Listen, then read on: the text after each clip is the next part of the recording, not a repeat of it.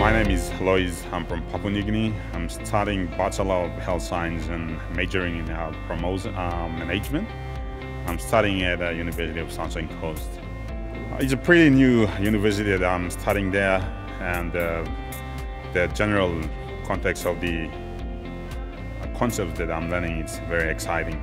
I choose to study here because um, the quality of education is the most thing that um, attracted me and it's also a Commonwealth curriculum that if you get a, a degree from university in Australia you can able to work in many countries of the world.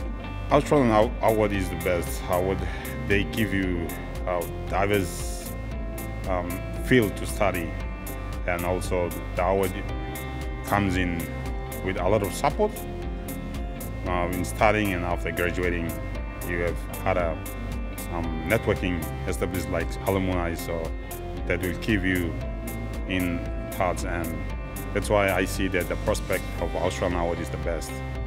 I'm finishing my studies in health promotion and the, the concept of health promotion is pretty much new in my country so when I go back I see a lot of opportunities and some a lot of challenges that I can take on.